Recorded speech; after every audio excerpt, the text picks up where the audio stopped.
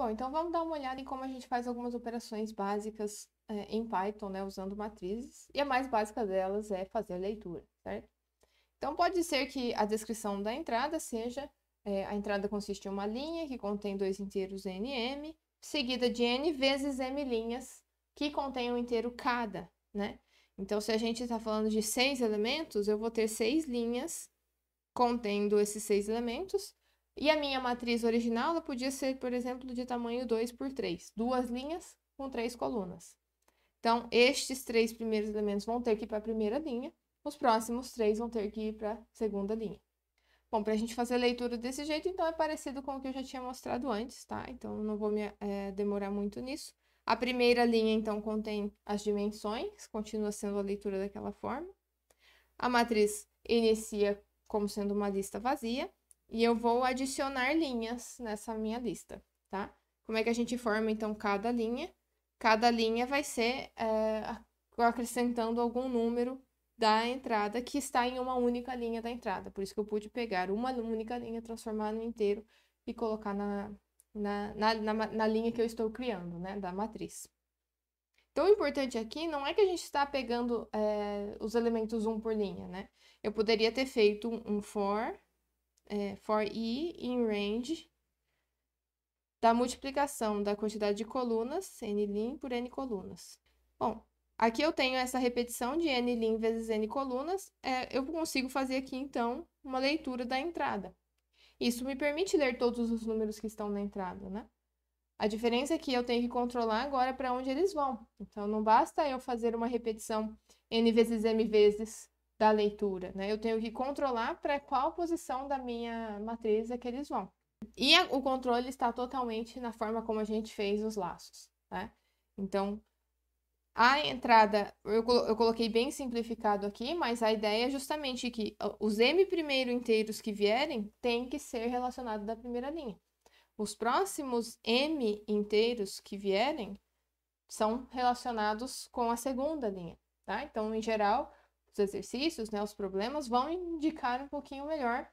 É, além de falar que cada que, que vai ter um inteiro por linha, né, eles vão dizer, olha, mas os as, os M primeiros são referentes à primeira linha, os próximos M são referentes à segunda linha. Por causa dessa descrição desta forma, o que eu tenho que fazer aqui é, eu vou primeiro percorrer umas, é, uma quantidade M ou N colunas aqui, né, de elementos, faço a leitura desses M primeiro, então aqui eu estou lendo estes M elementos primeiro, criei uma linha e coloquei na minha matriz. Depois, né, que este laço acabar, eu vou para o próximo valor de L, que vai me dizer para percorrer agora esses próximos M elementos. Então, aqui é um controle que a gente tem que fazer, né? Uma outra possibilidade de entrada é, eu vou ter lá os dois inteiros é, para me indicar quantas linhas e colunas eu tenho. Eu vou ter, então, N linhas, cada uma contendo M inteiros, né? Então, a entrada ficou um pouco mais parecido justamente com o desenho gráfico de uma matriz. Cada uma das n linhas vai ter m elementos contidos nela. Bom, se esses m inteiros estão separados por espaço, cada um na sua linha, né? Então a gente sabe fazer a leitura muito bem. Ah, bom, começa lendo lá as dimensões da matriz. Agora, como é que eu vou fazer a, a leitura, né? Eu ainda sei que vou fazer uma, a leitura de uma linha inteira antes de fazer a leitura da próxima linha. Por isso, meu primeiro for é no range das linhas, né? É variando nas linhas. A leitura de uma das linhas, então, é direta, lê a, aquela linha inteira com input e já faz um split, porque tem espaços entre os números. Agora, a linha, então, já é um vetor, né? O problema só é que é um vetor de strings. Se eu, se eu não precisasse transformar, se fosse realmente um vetor de strings que eu quisesse, bastava fazer o append da linha, mas não é, né? Então eu preciso ainda transformar cada um é, no inteiro. Por isso que eu tenho que ainda fazer esse segundo laço aqui, percorrer cada elemento para transformar ele no inteiro, certo? E aí sim a gente tem uma linha, uma, um vetor de inteiros que a gente pode adicionar na nossa matriz. Bom, e aí uma última forma que eu pensei aqui foi é, a entrada consiste em uma linha que contém dois inteiros, seguida também de uma única linha que contém n vezes m inteiros separados por espaço. Então eu tenho uma única linha enorme com n vezes m inteiros com tudo da matriz ali dentro, né? É, mas aí, de novo, né? o exercício, o enunciado, o problema que você vai tratar, vai estar tá dizendo um pouquinho mais do que isso. Então, ele provavelmente vai estar tá dizendo: olha, tudo bem que é uma única linha enorme, mas os M primeiros elementos dessa linha da, são referentes à primeira linha da matriz. Os próximos M são referentes à segunda linha da matriz. Então, com isso, a gente vê que é, eu primeiro vou preencher uma linha inteira da matriz para depois ter acesso aos próximos, é, à próxima linha, né? Então, aqui a gente vai, é, bom, fiz a leitura das dimensões, e aí eu fiz a leitura da única linha que eu tenho. Tudo está ali, né, na única linha que a gente tem. Faz a leitura da linha, já divide ela, então tudo agora é um vetor que contém strings, mas é, todos os elementos da nossa matriz estão ali. Então, o que, que eu vou precisar? Eu vou precisar percorrer este vetor. Por isso que eu estou criando uma nova variável aqui auxiliar para percorrer ele. O que eu preciso tomar cuidado é de uh, cada elemento, então, eu vou percorrer todos os elementos e começa variando zero, depois é cada um. Toda vez que eu acesso um elemento dessa variável tudo, ele tem que ir para alguma posição específica da minha matriz. Como que eu vou controlar isso? Controlando como eu vou percorrer a minha matriz. Então a gente sabe que primeiro vai vir tudo de uma única linha para depois vir da próxima algo sobre a próxima linha. Por isso meu primeiro for é em cima é, variando, né, para cada possível linha que eu vou ter. Então for l em range de n lin. Eu vou criar uma linha, como sempre, e adicionar ela na matriz, tá? Mas eu estou fazendo nessa ordem porque o exercício me disse que primeiro vão vir todos os valores da primeira linha, né? A linha, então, começa vazia. Para cada coluna que eu vou ter nessa linha, eu vou adicionar nessa coluna justamente é, a transformação do que está de uma das posições ali dessa minha variável tudo, certo? Transforma ela no inteiro e adiciona ela na linha. Feito isso, eu acabei de acessar um elemento dessa minha variável tudo, eu não quero mais olhar para aquele elemento, porque ele já foi para sua posição correta da minha matriz incrementa então a variável i, certo? Então, aqui dentro mesmo desse for, eu incremento a variável i. Terminado, então, eu posso adicionar a minha matriz, é, a linha, né, na minha matriz, e aí, para finalmente eu poder ir para a próxima linha, né, e fazer tudo de novo, certo? Outra coisa básica que a gente vai ter que fazer com matrizes é a escrita, certo? Então, escreva n linhas, cada uma contendo m inteiros, separados por espaço. Né? E aquela forma é, de escrita como a gente está acostumado com o desenho gráfico, né? Então eu quero basicamente que uma linha inteira fique na mesma linha, né? Uma linha da matriz fique na mesma linha da saída. A próxima linha apareça na linha de baixo, né? E cada elemento, é, cada elemento seja colocado lado a lado também. Então, em geral, é assim que a gente vai pedir para fazer a impressão de matriz, né? Da forma, justamente da forma gráfica. Se eu faço esse código, então, para cada linha, para cada coluna, imprima né, um elemento ali, colocando um espacinho no final, ao invés de pular linha, o que, que vai acontecer? Eu vou imprimir tudo em uma única linha. Porque o que eu estou falando neste comando da linha 3 é imprime o elemento, coloca um espacinho logo depois dele e não quebra, não faz a quebra de linha. Então, se eu nunca fizer quebra de linha, eu nunca vou de fato quebrar linha. Bom, então só para a gente ter uma ideia aqui, eu fiz uh, esse programinha simples que faz a leitura com o que a gente já viu. Né? Então, a função lê matriz não recebe nada, mas devolve uma matriz de inteiros. E aqui eu estou supondo que cada linha está sendo dada é, em uma única linha da entrada. Né? Então, a gente vai ter várias linhas na entrada, mas cada uma é referente a uma linha da matriz. Aí ela me devolve essa matriz. A função de impressão, então, recebe a matriz que eu quero imprimir, não vai devolver nada, porque ela só quer, realmente quer fazer a impressão. A primeira coisa que eu faço é descobrir quantas linhas e colunas eu tenho, né? Então, é com aquele esquema da, de usar a função len mesmo. Mas como eu disse antes, né, eu gosto de colocar em variáveis para ficar mais claro o que, que aquilo está representando. Vou percorrer cada linha. Dentro da linha, vou percorrer cada coluna e vou mandar imprimir o elemento, né? Sem final aqui, é, sem permitir a quebra de linha. A minha função main, então, só, faz a, a, só recebe a leitura e faz a impressão. Inclusive, isso é a primeira coisa que é bom a gente fazer antes de começar a responder, a resolver o problema em si. Né? Então, o problema em si não é ler e imprimir uma matriz, é fazer alguma manipulação em cima daquela matriz. Mas faz sentido você ter certeza, primeiro, se você está realmente conseguindo ler a entrada corretamente. Então, é, aqui eu vou supor que eu vou ter uma matriz dois, duas linhas por três colunas. Então, eu espero que a primeira linha tenha três elementos e a segunda linha tenha três elementos. E aí, como eu disse, né, vai ser tudo impresso em uma única linha. Mas a nossa intenção é justamente, depois que a primeira linha tiver sido impressa, eu preciso fazer uma quebra de linha, né, para que este restante do conteúdo seja impresso na linha seguinte. E aí, justamente, a, a ideia é eu colocar um. Assim que a primeira linha, assim que qualquer linha for impressa, e isso é feito depois que esse laço aqui terminar, depois que o laço que percorre todas as colunas terminar, aqui eu preciso obrigar que haja uma quebra de linha, né? Então, agora sim, a impressão de uma linha, então, para cada linha L que eu tiver, a impressão dela se resume em imprimir todos os elementos e, depois disso, quebrar a linha, né? Então, também faz toda a diferença a indentação desse print que eu estou colocando agora, né? Um print vazio aqui vai forçar a quebra de linha, mas se ele estiver dentro desse, desse laço mais interno, o que ele vai fazer é sempre quebrar linhas. Então, de novo, eu tenho aqui três elementos, é, duas linhas por três colunas, né? Imprimi uma por linha, justamente porque eu não soube onde colocar esse print. A ideia é você entender o que está acontecendo, né? Então, primeiro eu vou imprimir todos os elementos daquela coluna. Duas linhas por três colunas. Elementos 1, 2, 3, 4, 5, 6. A impressão, 1, 2, 3 numa linha, 4, 5, 6 na outra linha. Então, aquela primeira ideia estava certamente errada. A segunda ideia melhorou um pouco, porque eu quebrei agora as linhas após cada impressão de uma linha, né? Mas isso também está possivelmente errado e eu vou mostrar aqui também. Porque o que está acontecendo? Cada elemento tem um espaço na frente. Cada elemento tem um espaço na frente. O último elemento também tem um espaço na frente. É, e é porque a gente mandou esse espaço ser colocado, tá? Então, imprime um elemento, coloca um espaço na frente. O problema é que aí é uma questão de é, detalhe, realmente, de como vai ser o formato da saída, né? Em geral, a gente não quer espaço aqui no último elemento.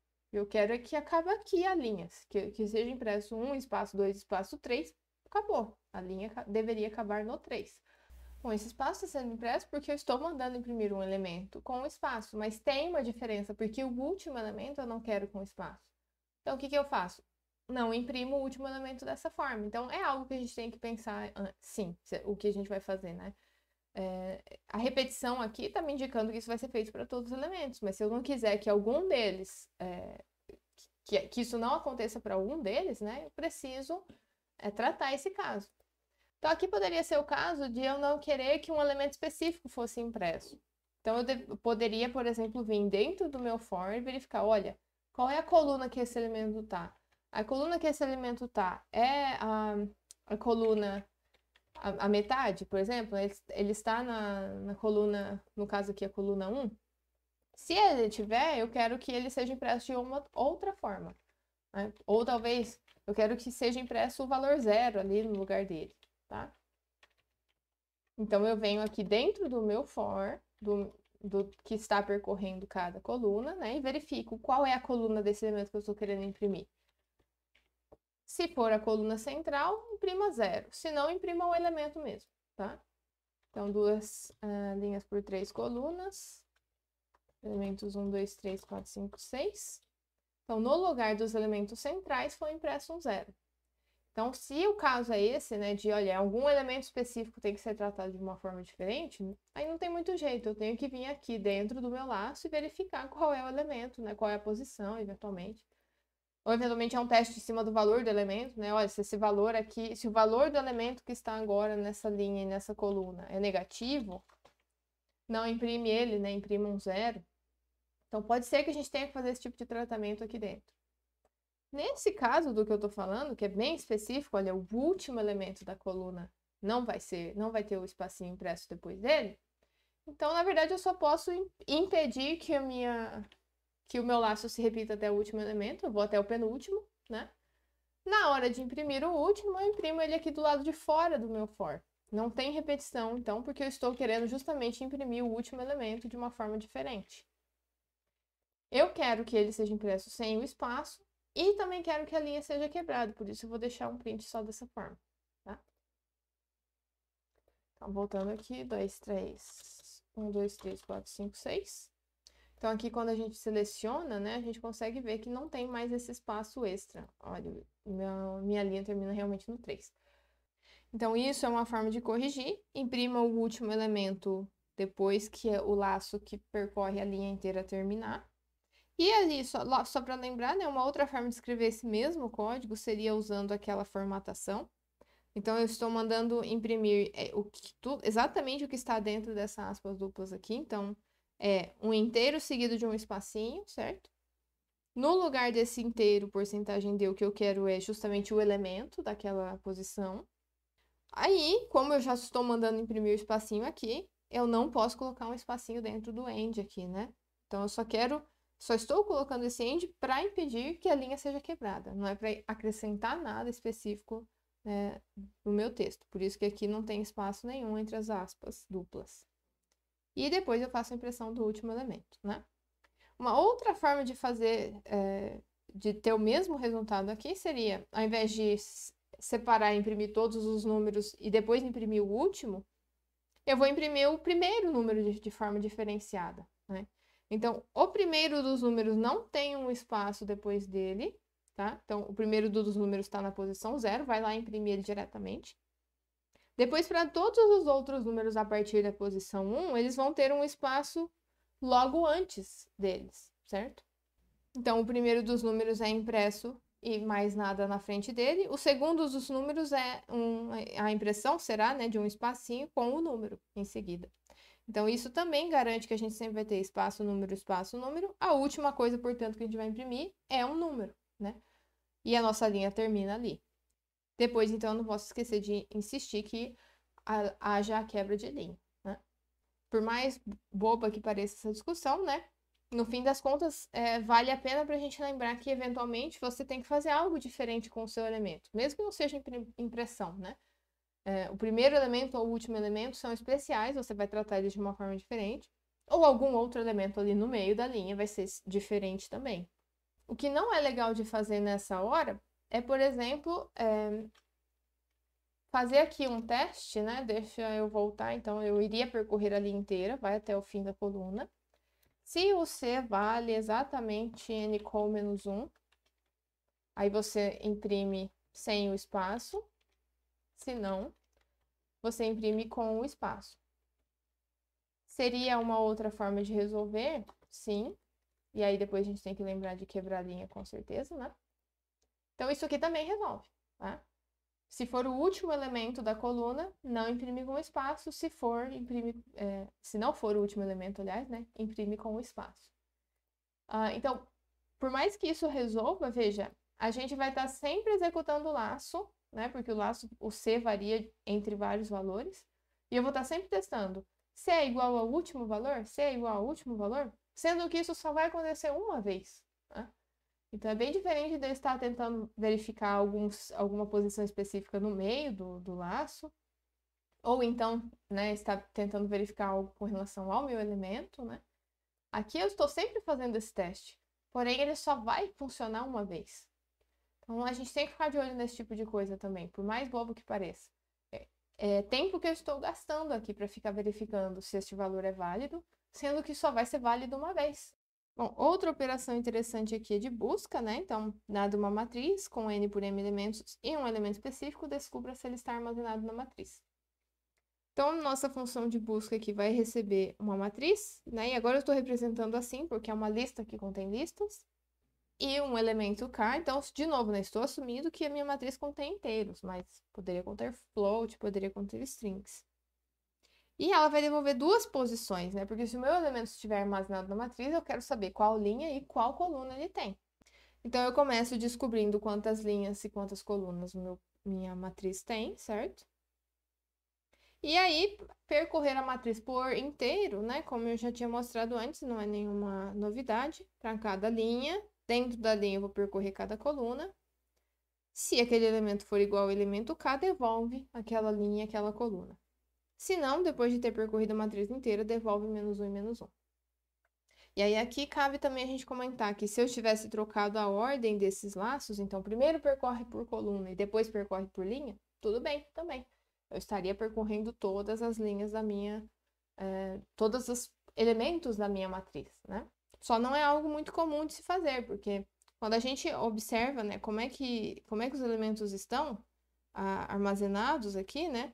A gente tem todos os elementos da primeira linha aparecendo antes dos elementos da segunda, né? Então, este laço, do jeito que está dessa forma, né, para cada linha e para cada coluna, o que está acontecendo é que a gente percorre todos esses elementos da primeira, da primeira linha primeiro, depois passa para todos os elementos da segunda. Se eu inverto a ordem, né, para cada coluna, olhe para cada linha, eu vou estar tá pulando dentro da mesma matriz, né? Olha para esse elemento, olha para esse, olha para o próximo. Depois você volta e olha para o segundo, para o segundo de cada linha, para o segundo de cada linha, depois você volta e olha para o terceiro.